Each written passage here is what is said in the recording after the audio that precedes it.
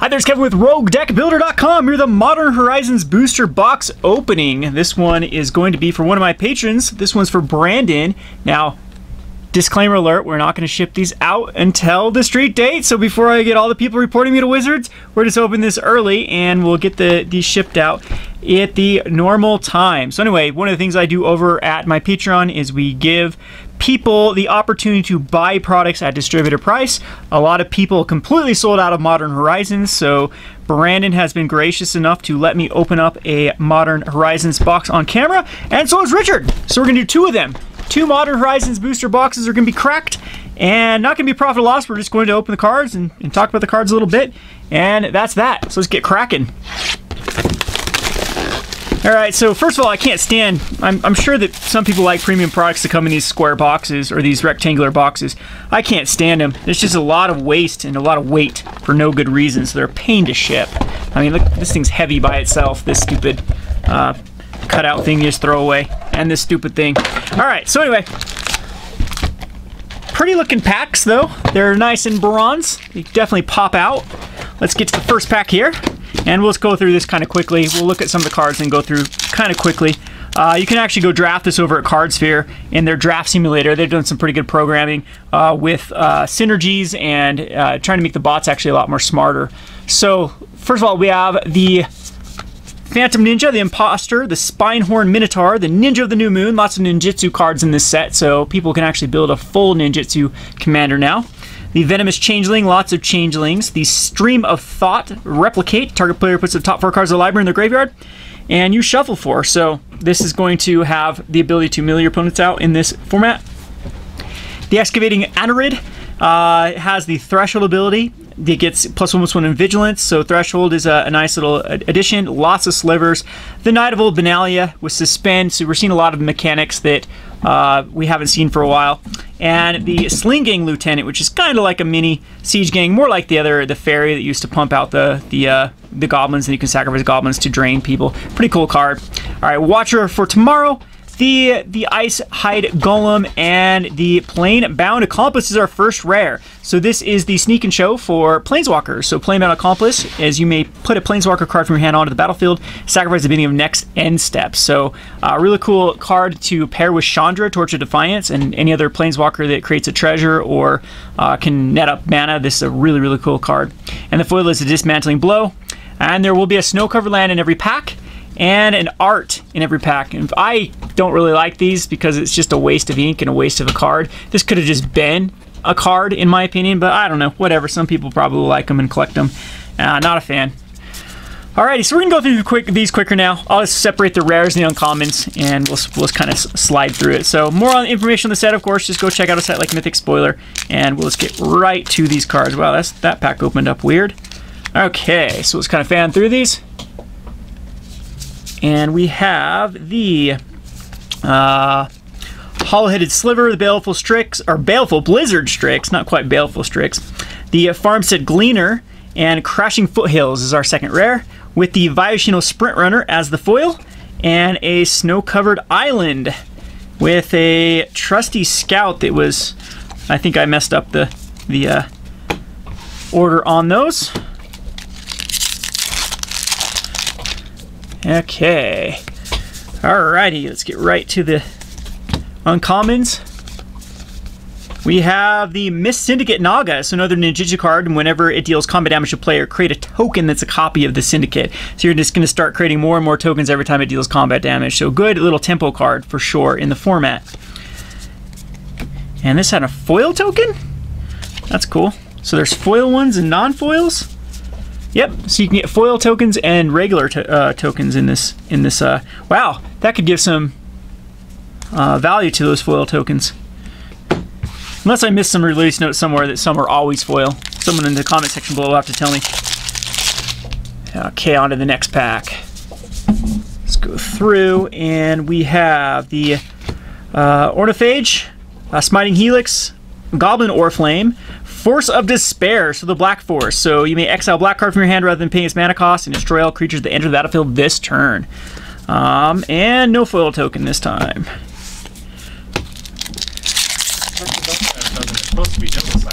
Are they double-sided? Maybe that's a double-sided token. Chloe, get out from underneath there. Sorry about the camera. Got the dog knocking the camera. All right, let's check to see that foil. It is not double-sided. So there's double-sided ones as well. I guess so. That's what I've heard. All right, so we'll be looking for double-sided tokens as well. Okay, so this is the pack we got to. Let's pull it through to the uncommons, the Birthing Boughs, the Alpine Guide, Generous Gift, which is the Beast Within for white, so pretty good uh, color shift there, and the Collected Conjuring. This card has been uh, talked about the worst card in the set, which Exile top six card libraries, and you cast up two sorcery cards with converted mana cost three or less. People did the math on this, and this is going to miss a ton. So uh, a lot of people are not liking that uh, that rare. Been called the worst rare in the set. So so far we haven't even opened up a mythic. Open up a foil token. Nothing else is too, too cool. Too cool a word. Too cool a phrase. All right, so we have the uh, Good Fortune Unicorn, the Ravenous Giant, the Rebuild, and Rebuild is pretty cool the Return all artifacts to your owner's hands. People are talking about now we have another one that SRAM can abuse uh, to go off like a SRAM Storm. And the the Pashalik Mon. So this is a card that is another goblin uh, that can be used for commander, but I don't know if it ever if it, it's better than the Krenkos for this particular one. Uh, pretty cool card nonetheless. And uh, there we go. There's another foil. This is a foil shapeshifter. So we have done a, a regular shapeshifter and a foil one have been opened. So uh, we'll have to see what the the rate of foils are in this in these packs. Okay, let's get on to the next pack. We have the Barren Moor, Cycling Lands are back for Modern. Farmstead Gleaner, the Vengeful Devil, and the Lightning Skelemental. This is a card that definitely is one of the cards I want to brew around. It looks good in like a Living End base deck. People have been talking about the synergy of Bloodbraid Elf. At trap plays 6 1, uh, deals combat damage to player that player discards two cards, and then you sack it at the beginning of, beginning of uh, the end step. And no foil on this one.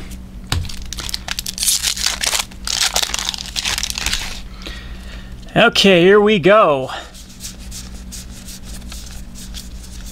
We have the Webweaver Changeling, the Soul Herder, the Throes of Chaos, and the Aria of Flame. So when it's battlefield, each opponent gains two life, and whenever you're casting this sorcery spell, you put a verse counter on it, it deals that much damage to the opponent. So people are talking about pairing this with cards that players can't gain life, like the new Tibalt. And no foil token in this. Jeez, these kind of open up awkward sometimes. Okay. So there's the Reckless Charge. A little bit of a thing. A person that was able to spoil Reckless Charge was very, very salty that this was their spoiler card and talked about how, what a garbage card this was, how it wasn't played limited and will not see play in any sort of constructed format. Well, it already does see play in Pauper. I think it's very good for Modern. Uh, it's better than all the ones that have been printed for the haste type ability. Has flashback on top of that. So I don't think this is a bad card whatsoever. I think it's a very good spoiler card. Would have been honored to have that be a spoiler card for me. All right, let's go on to the Orcish Oriflamme, or Goblin Oriflamme, the first Slivers Chosen, and the Unsettled Mariner. Uh, whenever you or a opponent you control becomes a target of spell or ability opponent controls, counter that spell unless, uh, unless they pay one. And it has the Rhino, and it also has the Answered Prayers. Rhino is foil.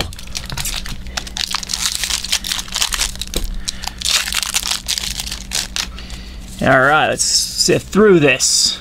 To the Battle Screech, awesome card and Pauper, Vengeful Devil, the Dismantling Blow, and the Sword of Truth and Justice. There's our first Mythic. This one is actually the one, one of the hottest cards out of the, the set. Uh, this one's actually retaining its value quite well.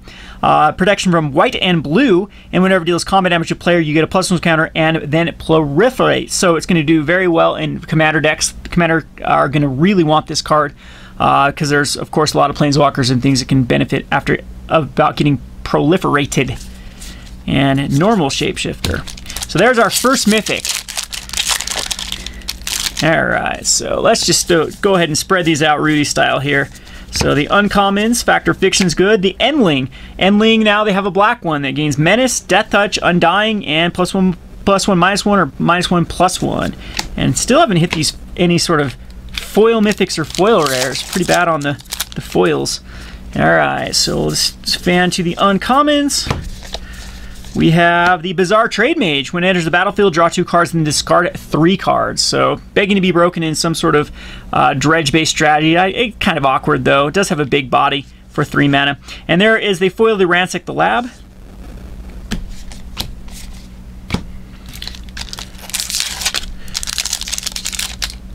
All right, next pack we will sift through to the uncommons.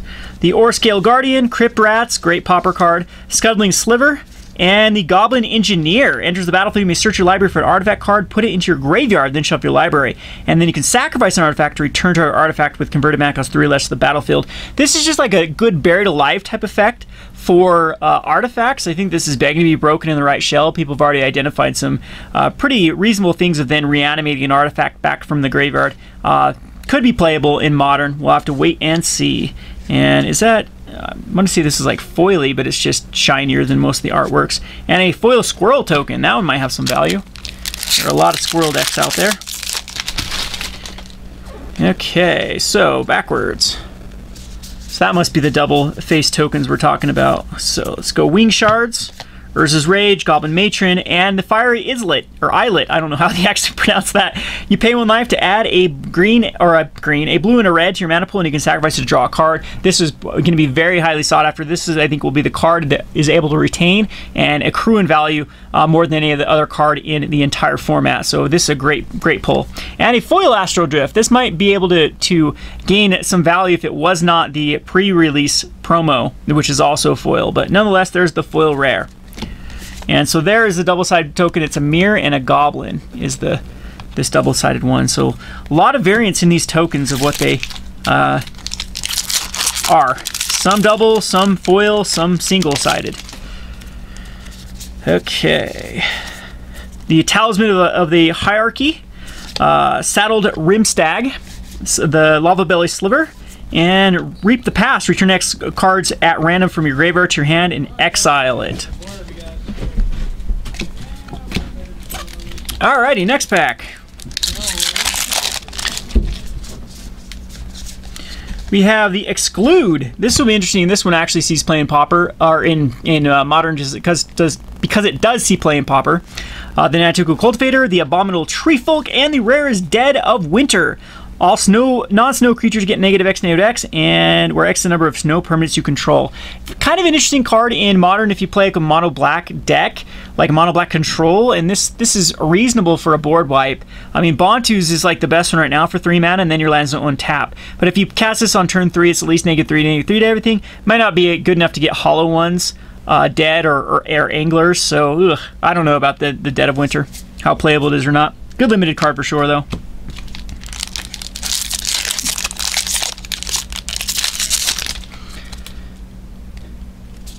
All right, let's go on to the next one. Is a Valiant Changeling, uh, Forgotten Cave, the Vesper Lark, and Nurturing Peatland. So there's two of the lands for Brandon. This one uh, is the, the one that I think is the second best because of all the decks. I think Rock actually wants this.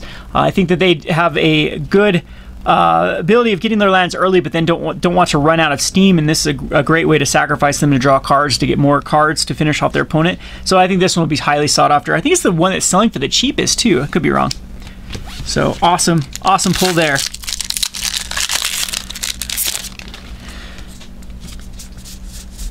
Okay, let's go on to the Grave Shifter, the Conifer Wurm the Frostwalk Bastion, and Force of Virtue. So now there's the White Force. I'll be trying to brew around this card with Squadron Hawks. I'll be looking forward to that brew. And then a Foil Bear. That one actually might have some value because of the new commander that's coming out for bears. So kind of cool card. Next up we have the Glacial Revelation, the Twisted Reflection, Wall of Blossom entering Modern. This one's actually very interesting because Wall of Omens does see play. And Genesis, a legacy favorite. With Genesis, be able to reanimate cards if it's in your graveyard. This should spawn some pretty cool decks in Modern. Um, at least some uh, like rock-based strategies I think might actually might want this card. All right, we got one column left of packs.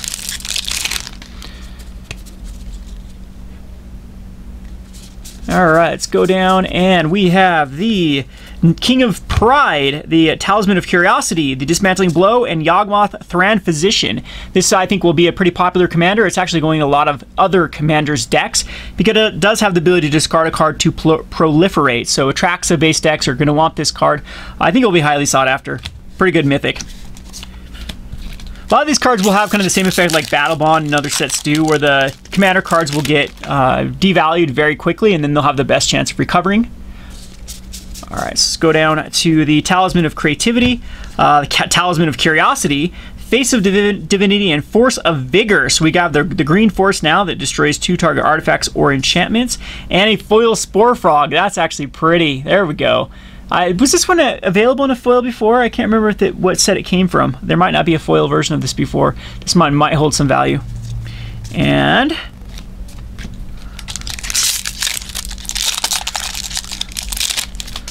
Go on to the next one. All right, let's see here. We have the Ruination Rider, the Dregscape Sliver, the Cunning Evasion, and the Giver of Runes. So not as good as Mother of Runes, but we'll take it. It will protect at least other creatures. At least this will eat a Lightning Bolt or a Path to Exile, and all your other creatures, especially your combo pieces, can be protected. But it can't protect itself like Mother of Runes can. So it's kind of a fixed Mother of Runes.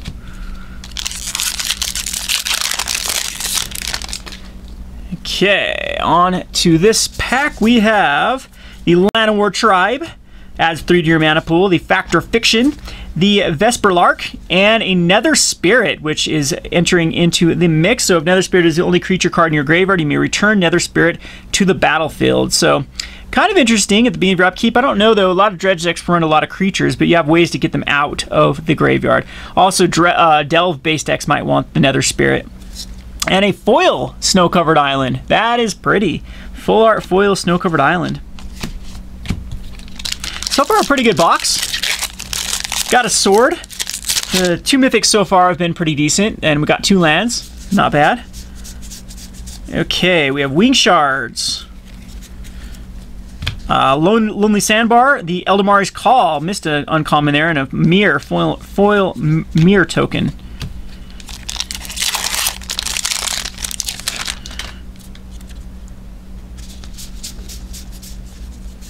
Okay, we have Orescale Guardian, Crypt Rats, the Icehide Golem, Hall of Heliod's Generosity is the rare. Put target enchantment card from your graveyard on top of your library. So it's given a, a Volrath's Stronghold, I believe is the one for creatures type effect, and a Winds of Abandon. So there's another foil rare with the Overload of Exile target creature you don't control, and it basically does the Path to Exile for all creatures. I think this will be a pretty decent uh, commander card. So foiling in this is is, is definitely going to be have some value to it. And these these foils actually should have quite a bit of value because unlike the other master sets, these are not one of in every pack. So a lot more rare. So you got to expect it's like Conspiracy or Battle Bond. So that could actually hold some decent value. Not going to do a profit or loss or, or add up the total of this. We're just going to get this out and and for your viewing pleasure. Not going to edit it. So on thin ice is this one's uh, rare. When on thin ice enters the battlefield, exile target creature. Uh, so until it leaves the battlefield, you you enchant a snowland. So there was the the mountain one that came out of Theros that it works like.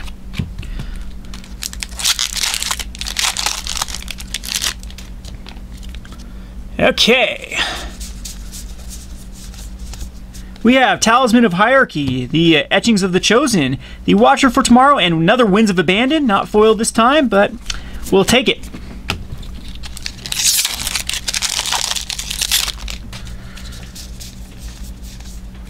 Squirrel Nest, the Rebuild, Feaster of Fools, and there is the bear commander, the Ayula, Queen Among Bears. Whenever another bear enters battlefield under your control, you choose one. Either put two plus one of those counters on a target bear, or a target bear you control fights another target creature you don't control. So, and then we have a foil construct. So, this is going to be a very popular commander. All the bears surrounding this commander have already gone up like crazy. So the, the commander players are Looking forward to brewing around this deck or that card. Okay, we have the Thundering Djinn, the Everdream uh, Carrion Feeder. That's a good pauper staple. And the Mirrodin Besieged, which whenever you cast an artifact, you create a 1-1 uh, mirror. And or if you choose Phyrexia, you get uh, you get a draw card at the beginning of your end step, draw card, then discard a card, and there are 15 or more artifacts in, in your graveyard. Target opponent loses the game. It's another dumb alternate win condition card. Not a fan of those type of stuff. And Commander 2, is kind of feels bad because you, you, you, you kill one person. Alright, so the Firebolts, Lesser Masticore, Abominable Treefolk, and now we have the third land with the Silent Clearing. and a Cunning Evasion as the foil. So another great land here. That's I think the, the lands again will hold their best value. Just look at the Horizon Canopy as an example. So got the the Birthing Boughs, Alpine Guide, Munitions Expert, and Spiteful Sliver. Uh, whenever this creature deals, uh, slivers have whenever this creature is dealt damage, it deals that much damage to target player or planeswalker, so they get the Boros Reckoner effect. Couple more packs left. We have the Tempered Sliver, the Tribute Mage, Scale Up, and people are talking about this card with Infect, turning Glistener Elf on turn number two into a base power and toughness of 6-4, and then giving one more pump spell, uh, and then winning the game, basically. And then the Cordial Vampire. Whenever Cordial Vampire or another creature dies, you put a plus one counter on each vampire you control.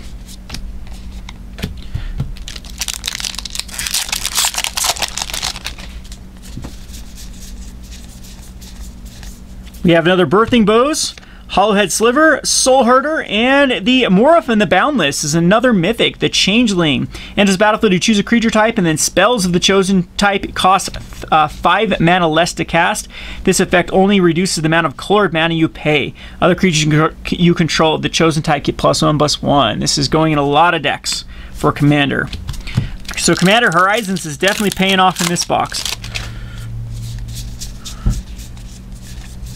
Okay, we have the Valiant Changeling, the Forgotten Cave, the Talisman of, Re of, Resilience. I believe that's all the talismans now. And the Cloud Shredder Sliver. Uh, slivers have flying and haste on one sliver. And we got a Foil Elephant.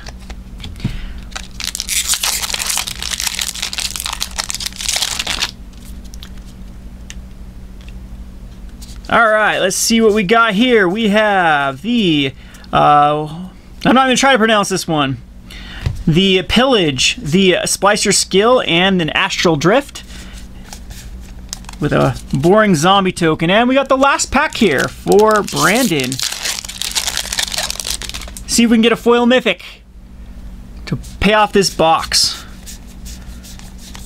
We have the Sling Gang Lieutenant, Goblin Matron, Generous Gift, Marit Lage's Slumber as the remaining rare. Whenever Slumber another snow permanent enters the battlefield, you scry one. And at the beginning of your upkeep, if you control 10 or more snow permanents, uh, it becomes a 2020 black avatar creature with flying and indestructible. And the foil is not a foil mythic, but an Orcish Hellraiser with Echo.